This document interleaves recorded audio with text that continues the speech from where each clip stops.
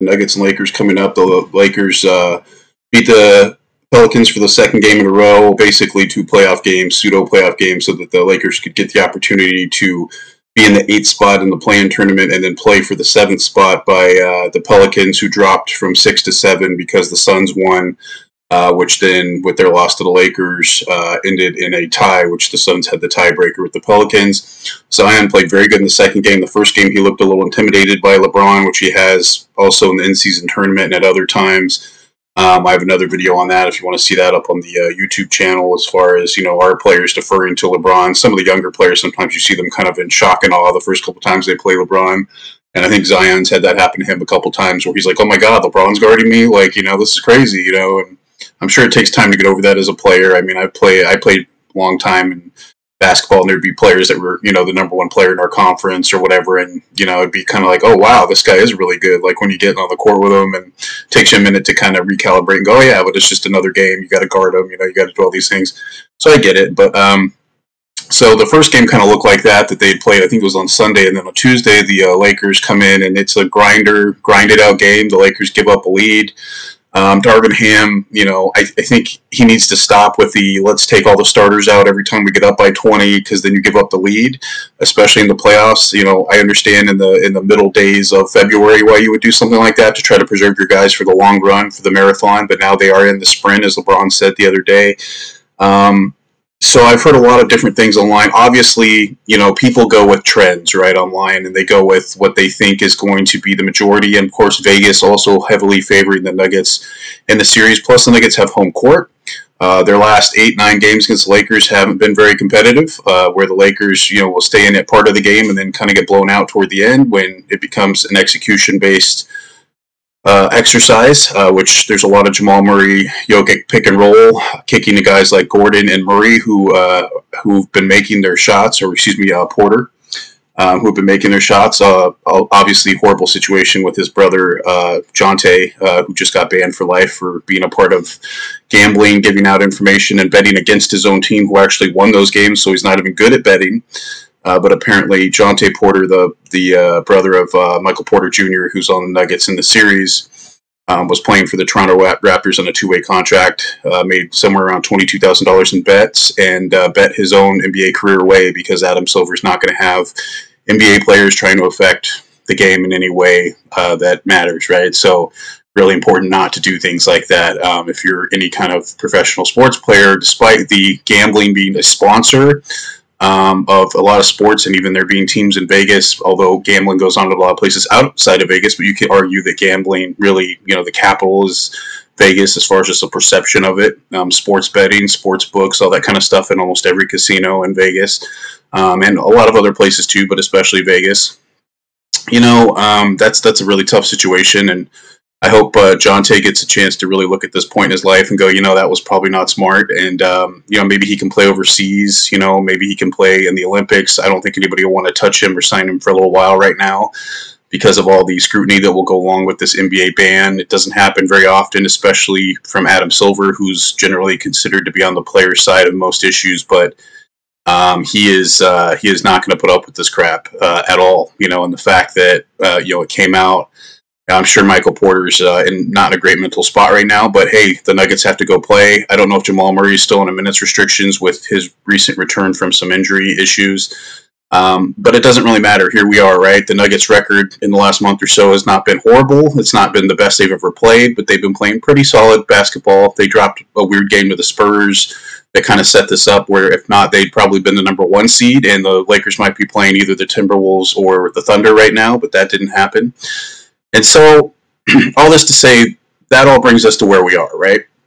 Lakers end up as the seventh seed with what happened with the Pelicans. Zion out now for the game tonight that ultimately will be against the Kings, which I think the Kings will win because Brandon Ingram's just coming back from an injury. CJ McCollum has been playing horrible because he's not wide open without Damian Lillard over there to draw an extra guy. Um, and he's getting a little bit older too, um, as far as McCollum goes, even though he's a really good leader for that Pelicans team, that group. Um, but now Zion pulled a hamstring. Apparently, that's why he left the game against the Lakers on Tuesday. And um, you know, or some level of pulling a hamstring. There's different grades of a hamstring pull, so I don't know how severe it is, but they said at least a couple weeks. It looks like, which means that even if they did somehow win the game against the Kings tonight, they would probably have a really hard time keeping up with a really fast team like the Thunder, which is the team you would match up. Whoever wins the game against the uh, the Kings and the Pelicans tonight will then get the number one seed in the West, which is the Thunder in a seven game series. Uh, and obviously, the Thunder have home court. So that's going to be an interesting uh, dynamic. Um, but as far as the Lakers and Nuggets go, I've heard so many things about, oh, well, you know, this and that, and it was a sweep last year, but oh, it was a close sweep, and so many different sides of the coin. I think people are missing some of the finer points of what's going on in this series, which is what happened last year? Last year, the Lakers made a Russell Westbrook trade in the in the middle of the season. They went on a run. They had all these parts together, but Schroeder and D'Lo were having some issues in the backcourt because D'Lo was kind of like, "Hey, I'm the scoring guy. I should be in there." And Schroeder's like, "Yeah, but I can lock people up." And obviously, they were having some issues, which is what ultimately led to Schroeder signing with Toronto and then getting traded midseason to the Nets. Um, we all like Schroeder. He's been on the team a couple times. You can argue he fumbled the bag or whatever, and whatnot. But um, you know, we kind of wished Schroeder would have came back so we could have ran the same squad back. But it kind of worked out for Lakers because they ended up with Dinwiddie and Gabe Vincent instead um, at different times. They got Vincent kind of in the immediate wake of realizing Schroeder wasn't coming back. Now, for those of you who don't know, I know Gabe Vincent just came back from an injury, and Laker fans are still kind of getting used to the fact that he's there at all. Um, he played a little bit better in the last game. He's starting to get his legs under him a little bit. So, getting your legs under you means that your your fatigue level um, is getting to the point where it's not affecting things like your shot. Because when you first get out in an NBA game, it's moving really fast and no matter even if you're a pro who's played it all the time, if you haven't been playing lately, and even practice doesn't simulate what a real NBA game is, as far as just the amount of effort that's required on every movement, every play, constantly. So it wears you out. So these guys have to get to the point where they're so conditioned to where their body, just like anything else you do physically in life, is going to be to a point where you can handle all of that. Your stamina is there, your body endurance, your muscle endurance is a big thing too, because you're really pushing it um, you have to make sure you're constantly hydrated and constantly, you know, eating the right things at the right times throughout the day. You have to make sure that all these things are happening correctly so that you can perform at the level you need to. Plus, you're training and recovering constantly as far as weightlifting goes, as far as practice goes, all these things, right?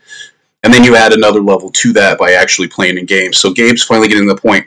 Why is that important? Because Gabe Vincent played really well against Jamal Murray uh, when he was with Miami last year. Yes, Miami lost and Denver uh, was the champion. But if you add a guy like Gabe Murray and what he did in that series against Miami, and you put that and insert it to where basically Schroeder was um, um, last year in the Lakers series, you have a lot more of an interesting series, right?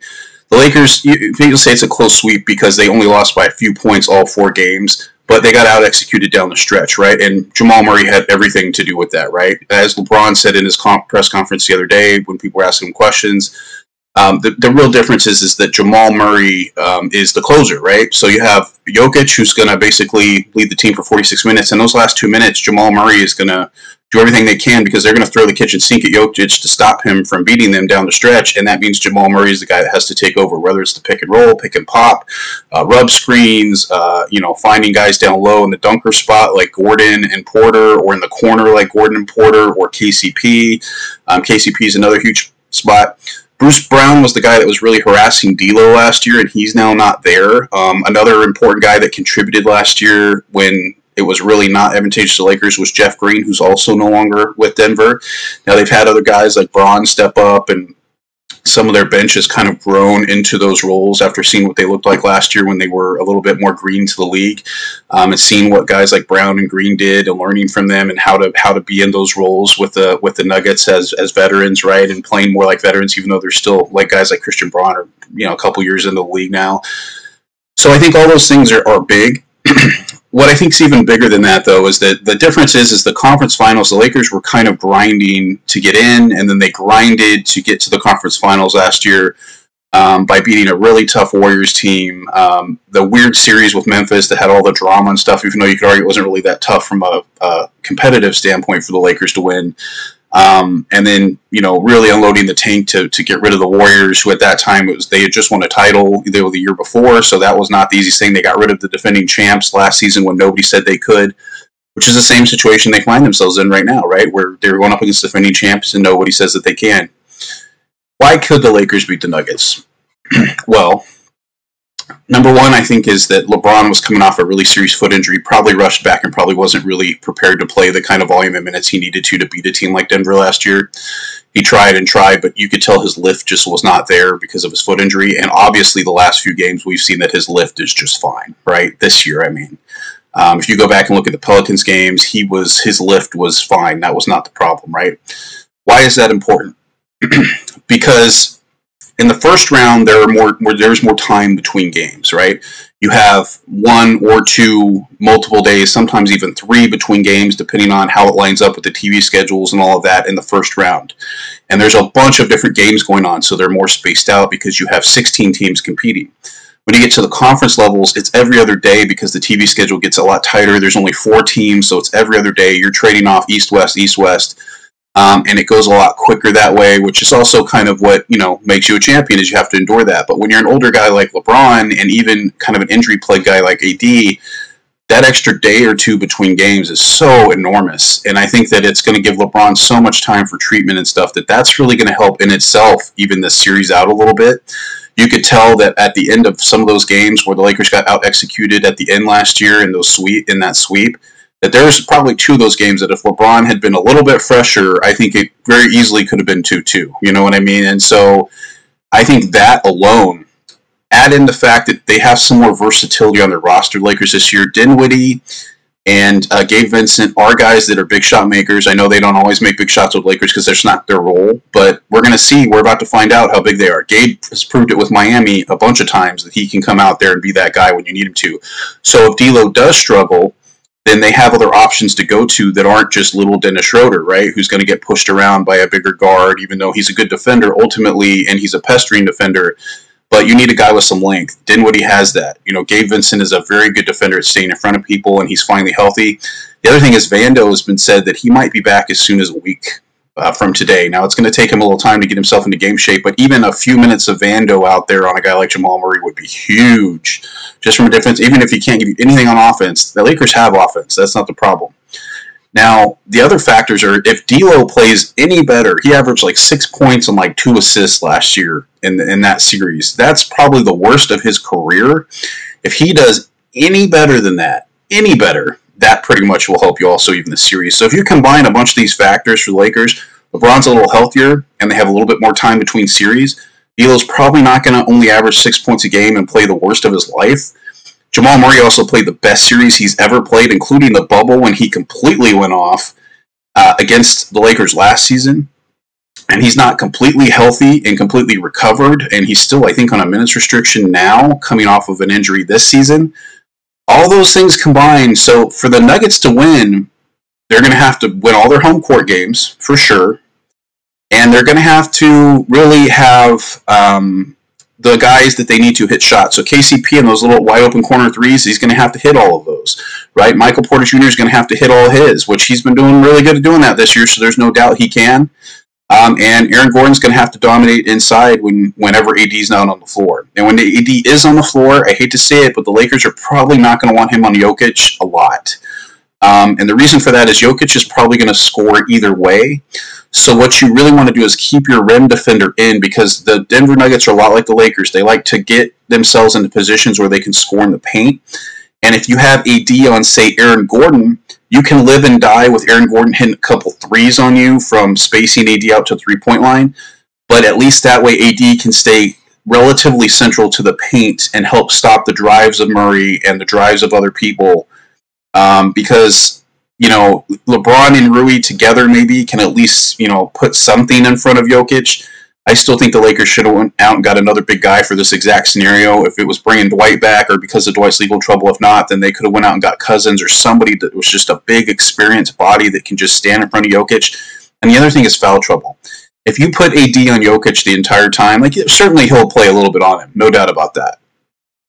But if you put him on the whole time, he's going to get into foul trouble, and that's going to that's the Lakers can't win without AD on the floor in this series. It's just not going to happen we can sit here. I mean, they might be able to get away with a few minutes of Jaxson Hayes in there and do okay and play even, which would really be a win for the Lakers if they could do that.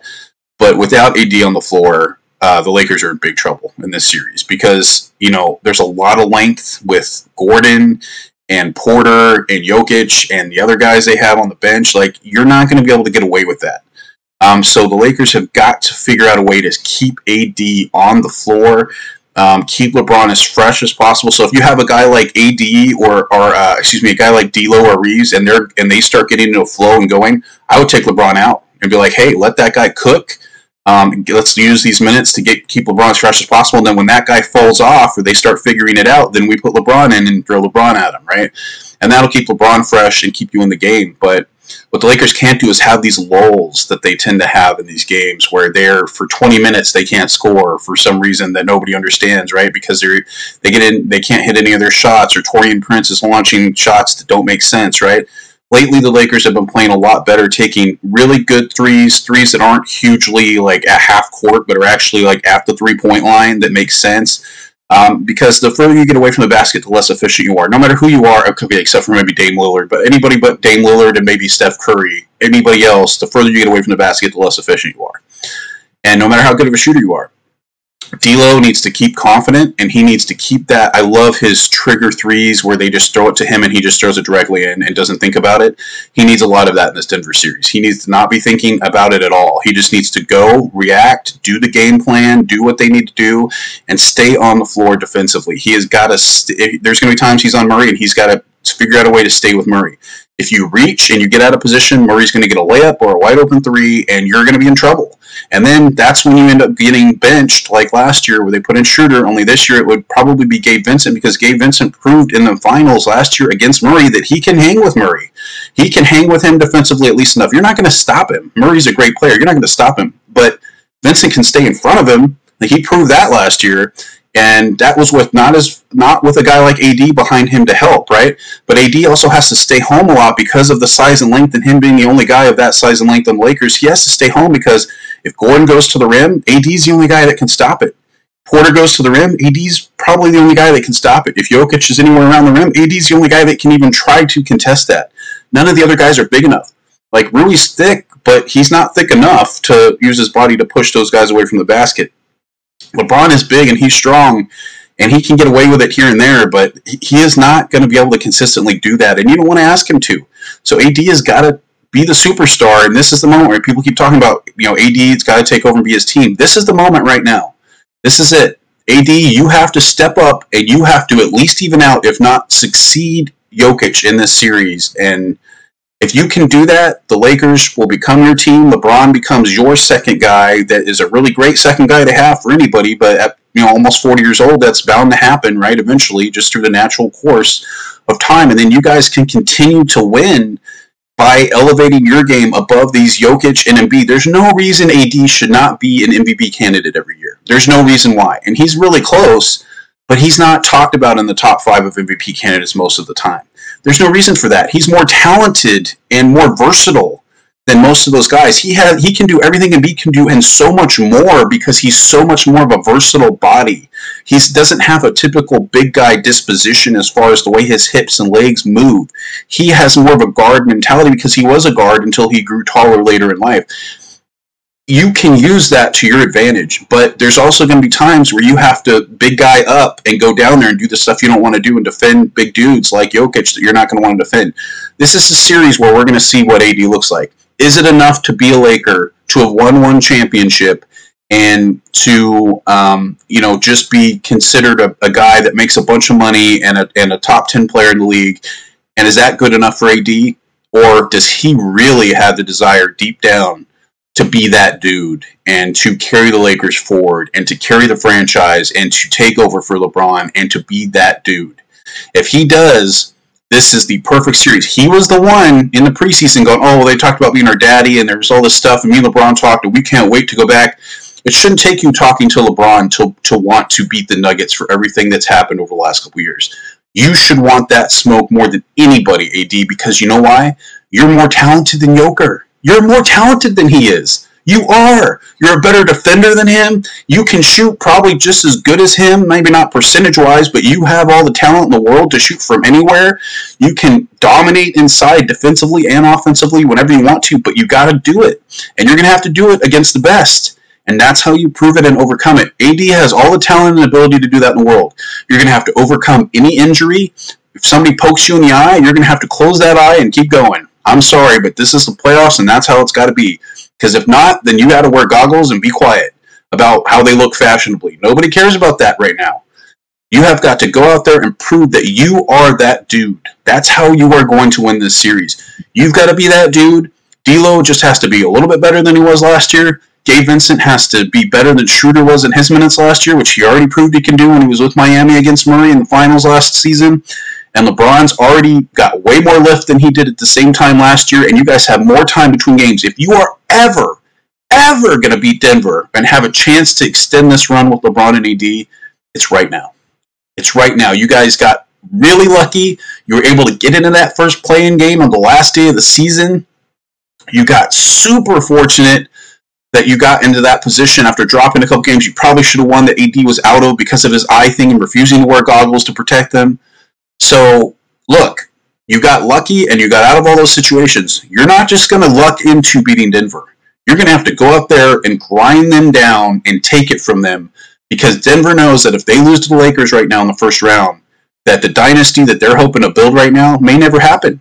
It may never happen if they go out in the first round right now.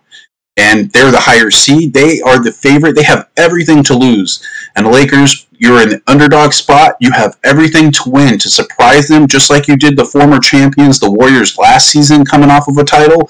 You can do that to Denver, but you have to believe that. You have to get Gabe Vincent in there, and and and if Spencer plays, he's got to play the same kind of ferocious defense on Murray.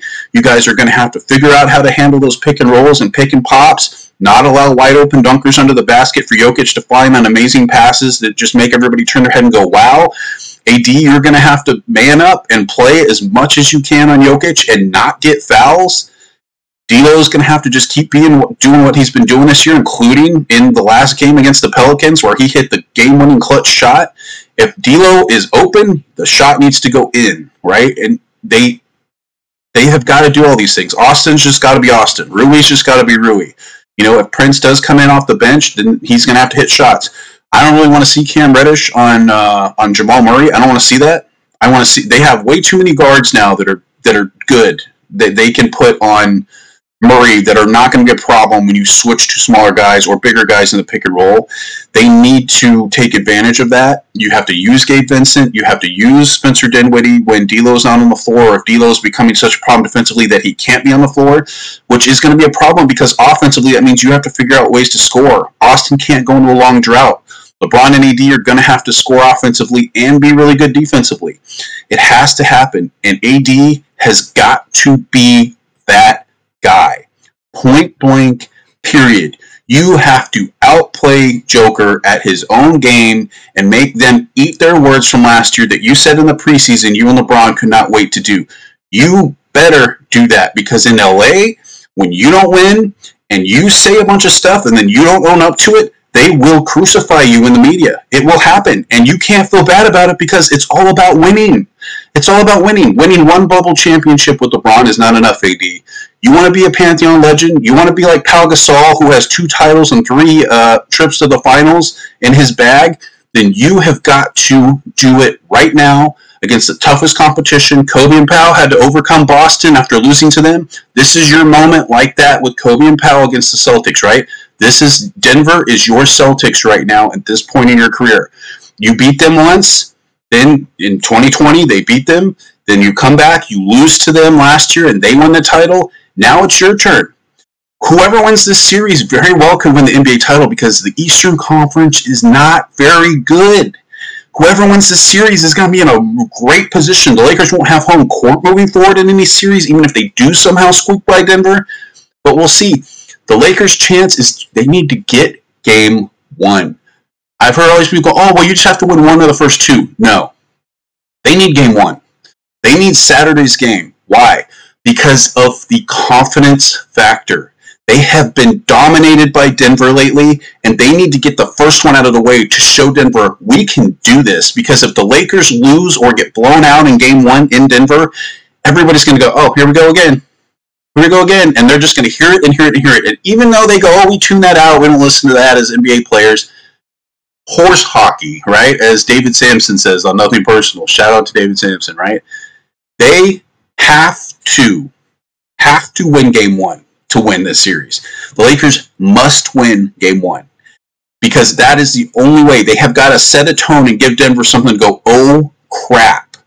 You know, we did not do what we needed to there, and they have got to find some way to get past Denver in game one. I don't care if they do it by one point, 20 points. I don't care if it's because AD's dominating or because LeBron's dominating or because D'Lo has a hot night or because Austin does something amazing.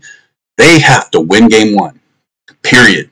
If the Lakers have a chance to beat Denver in this series, which there's no reason why they shouldn't, you have so much time between series to recover. You have time before the series going in. There are no excuses. You have every single opportunity. You have Gabe Vincent on your team, who is a very, very good player, as good as anybody we've seen in the playoffs on Jamal Murray. And he's finally healthy, and he finally played good in his last game, so he looks like he's finally there, right? You have it now. The Lakers will never have a better chance with more pieces because of how much they're going to have to pay LeBron moving forward in an extension this year and stuff. They're not going to have better pieces than they have right now. I hate to break it to you, they're not going to do it. Gabe Vincent is signed beyond this year, but they might end up having to trade him or something to create this cap space to keep D'Lo, or he might end up being the starter and then you won't have D'Lo, and so you'll lose that piece. Right now, with the pieces they have right now, this is the Lakers' shot. Right now, you want to keep this team together and keep moving forward, right now is your chance, right? You must, must do the things that I just talked about. You must limit second chance opportunities, and you, you absolutely must help AD on the defensive boards.